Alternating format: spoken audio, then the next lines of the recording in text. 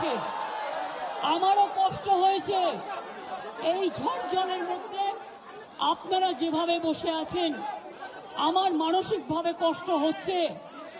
আপনারা আজকে তেত্রিশ দিন, চৌত্রিশ দিন আমার আমিও কিন্তু রাতের পর রাত ঘুমাইনি, কারণ আপনারা যখন রাস্তায় থাকেন, আপনাদের জন্য আমাকেও কিন্তু পাহারাদার হিসেবে জেগে থাকতে হয়।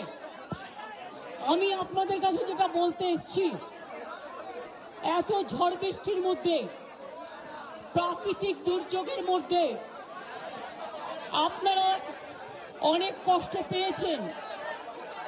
আর কষ্ট না করে যদি আপনারা কাজে ফিরতে চান, আমি আপনাদের প্রতিশ্রুতি দিচ্ছি, আপনাদের ডিমান্ডগুলো আমি কথা বলে সহানুভূতির সাথে আমি স্টাডি করব, আমি অফিসারদের সাথে কথা বলব, আমি একা সরকার চালাই না, আমার সাথে একটা chief secretary home secretary DG police সবাই আছেন।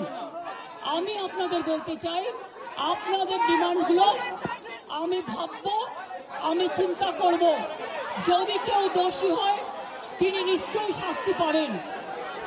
এবং আমি চাই তিলোত্তমার বিচার হোক আমি সিবিআইকে অনুরোধ করব, যত তাড়াতাড়ি বিচার হোক, এমনকি তিন মাসের মধ্যে তারা যেন ফাঁসির অর্ডার দেয়, আমি এটা সিবিআইকে অনুরোধ করব, আপনাদের প্ল্যাটফর্মে বসে।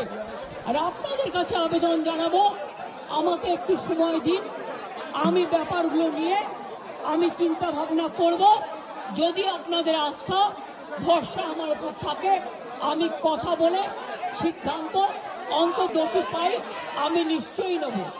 আমি আপনাদের এটুকু বলবার জন্য এসেছিলাম।